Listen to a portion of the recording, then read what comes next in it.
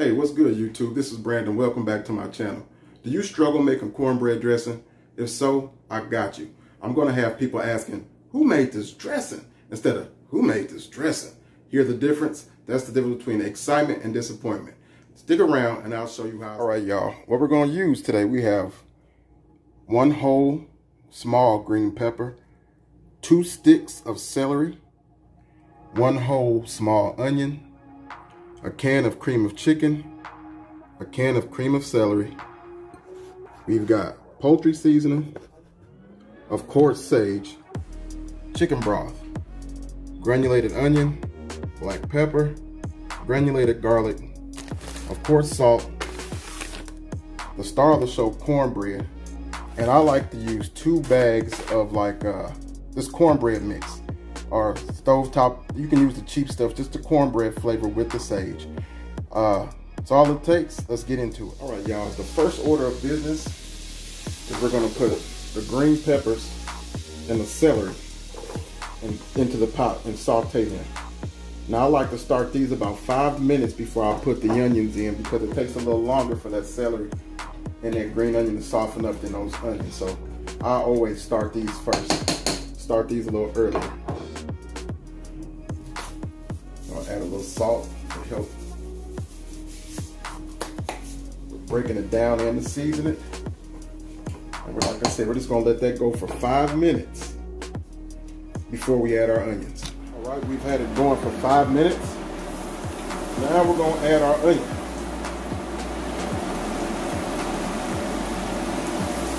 Let that go. Now, when I was giving you guys the ingredients, I forgot one of the most important ingredients in my estimation, and that's chicken.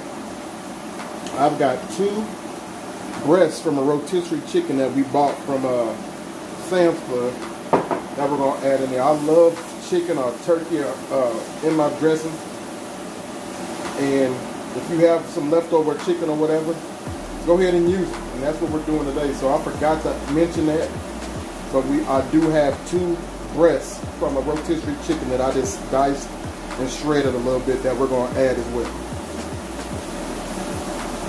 All right, guys, so we're gonna let this go. And let's let this saute a little bit and I'll bring you back in when it's ready for the next step. Y'all, we back. Now here's what I like to do. I like to take a teaspoon of the sage and add it to my trinity. Then I'll take a teaspoon of the poultry seasoning and add that to the trinity. I'll take that chicken and I'll put it over in here just to get it a little warm. Then I'll take a whole container of chicken broth and I'll add that to the pot as well and I'll just let that simmer for maybe five minutes or so just to get all those flavors incorporated into this broth.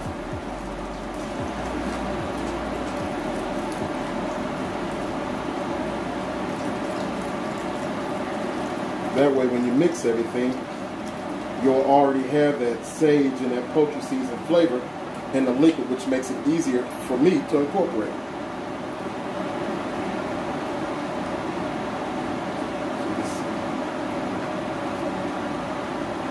mix it up. Turn the heat up to medium high. Bring it to a boil. Then we're going to turn it off. Then we're going to be ready to make this dressing.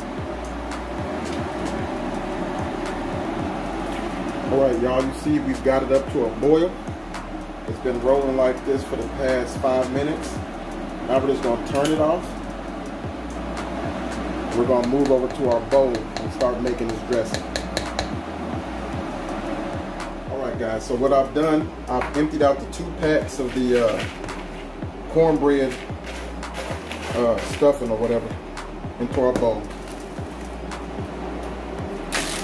Now we're to add cornbread. Now, this is actually just some old Jiffy that we, we don't use or whatever. You can just save it, freeze it. That way, when you get ready to make cornbread dressing or whatever, you have cornbread. Or you can make fresh cornbread. It's totally up to you. it all. You just take it and break it up. And I like to just mix it with my hands. And incorporating it with that uh, stuffing mix we had, that cornbread stuffing mix.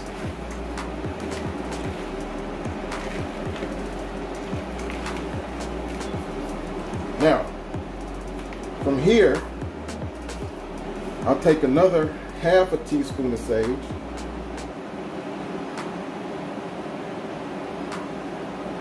Mix that in there. And another half a teaspoon of poultry seasoning.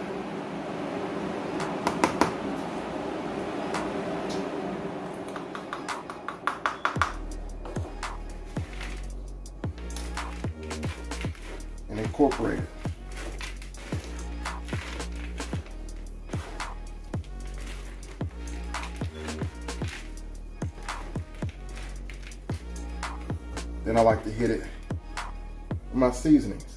A little bit of granulated onion, black pepper.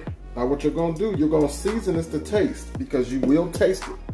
That's one of the keys to making good dressing in my opinion. A little salt. There's two things you must do. One, keep it simple. And two, taste it. Your dressing will taste just like dressing before you even bake it. Just the flavors, you'll know exactly what you're gonna get. So you wanna make sure you taste it. Mix it up. Now we're gonna take that broth we made and just dump that on in there. Along with those peppers, onions, and that chicken.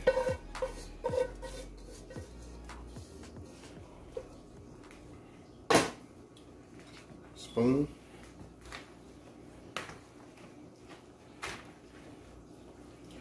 Oftentimes people make the mistake of either doing one or two things with their make their dressing. It either super, super dry or overly wet.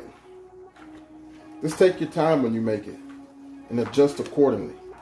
Now you can see this is clearly uh, not moist enough. It's crumbly in here. And that's where this uh, our cream of mushroom soup and our cream of chicken soup comes in. It helps with keeping it moist and as well as adding flavor. So we're gonna add that can of cream of chicken.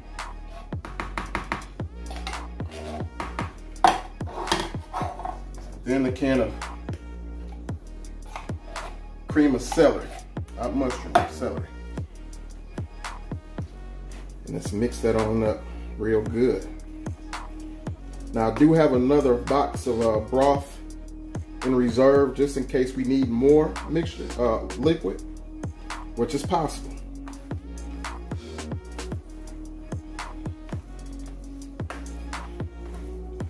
Notice one a couple things you didn't see in this particular recipe. You're not gonna see any hard-boiled eggs. You're not gonna see any chicken livers or gizzards. I don't like all that stuff in my dressing. I like I said to keep it simple and I have it taste good. All I need is my Trinity, have it seasoned right, and some chicken or turkey. Now this is this is getting close, but it's still not where we want it to be. We're gonna have to add a little more liquid, so I'm gonna go ahead on and get that other box of uh, chicken broth and add a little more liquid to that. Then we're gonna taste to make sure our seasoning is right. So sit tight. All right, y'all. Got the other bottle of chicken broth out. We're just gonna add it a little bit at a time and stir it to make sure our consistency is right where we want it.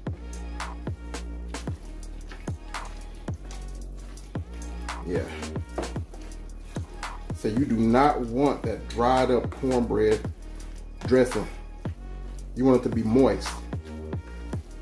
You don't want it to clump up or anything like that off when it comes out the pan. It shouldn't do that. It should be nice and moist. see, this is real close. Real close. We add a little bit more liquid. We've got our oven preheated to 350 degrees. it's looking good already. It smells awesome. It smells just like dressing. The way it should smell. A little more liquid. And what I like to do actually is top my dressing a little bit with some of this broth before we put it in the oven.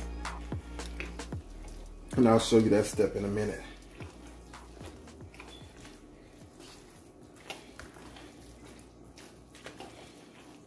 Now it's definitely the consistency I want.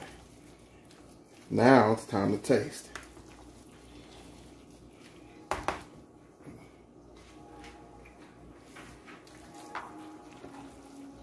Wow. It's just about there, y'all. What I'm gonna do, I'm gonna add just a smidge more of the sage.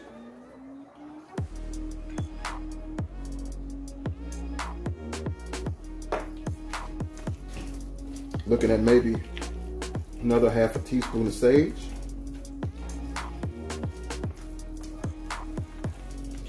Now, remember y'all, taste your food. See if it fits your palate the way you like it. You might want it a little more salty. Me, I'm not gonna have a ton of salt. I don't want it super salty. I want it seasoned right. And I'm gonna add a little bit more black pepper. As far as the onion and garlic powder and stuff, it's perfect.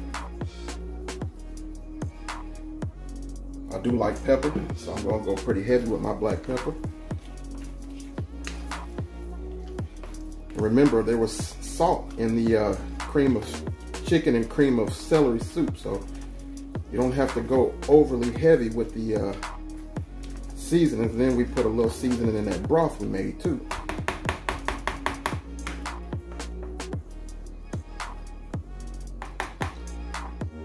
That's it.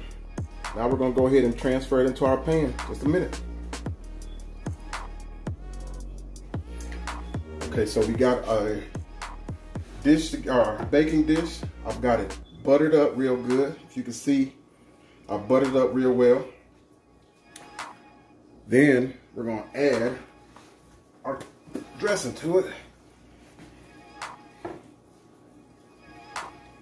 Let's go ahead and put it in there.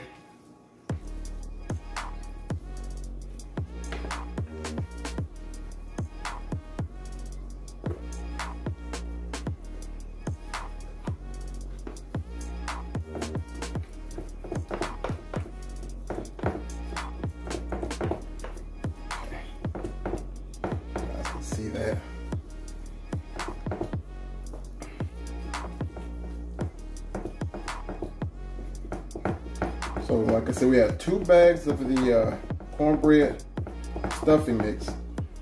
I had about the equivalent of two boxes of Jiffy cornbread left.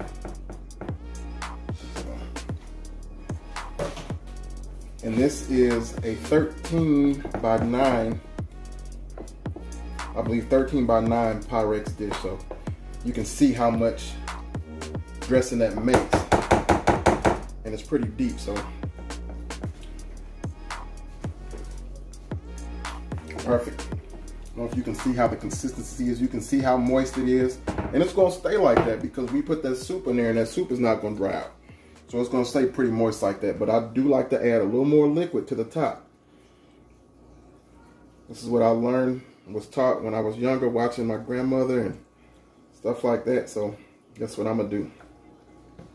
Now Last thing to do is cover it. We're going to cover it the first 45 minutes or so. Then we're going to take the foil off. But if you can see, I've buttered my foil. That way it doesn't stick to the foil.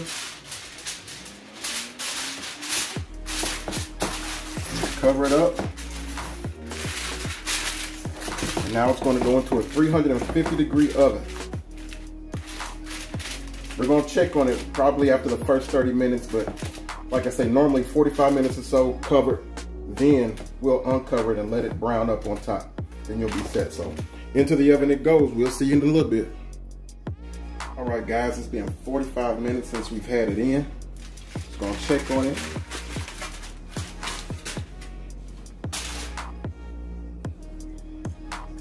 Still looking good, super moist.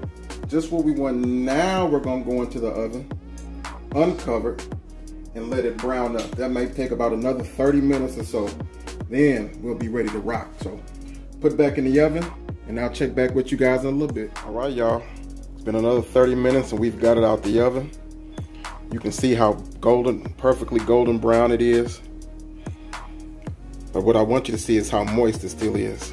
Look at that. That's what you want with your dressing. Nice and moist. Steamy. That's it, guys, right there. Oh, yeah. So what I'm gonna do now, I'm just gonna let it sit a little bit. I've got a uh, smoking a pork loin roast right now to go with it. That if you want to see how that's made, you can just uh, look at the iCard that's right above you right now.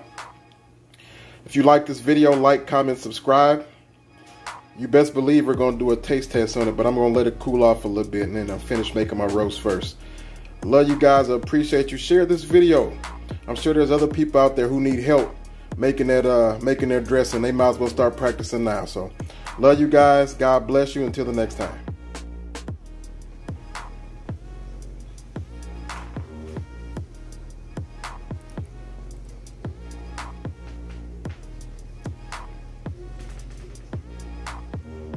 y'all i'm back like i promised showed you we are gonna do a taste test when i got done with my food so you want to see what we got here's that smoked bone-in pork loin.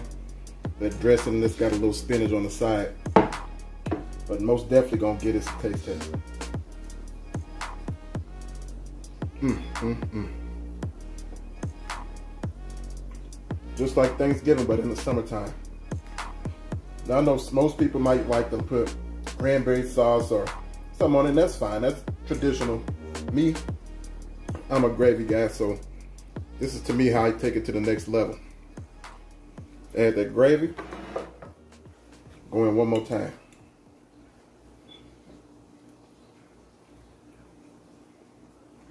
Y'all, that's perfect. Again, try this recipe. I guarantee you'll love it. It's easy. And you will definitely uh, be the star of the show next time. Like, comment, subscribe. I appreciate y'all. Until the next time, y'all have a good one.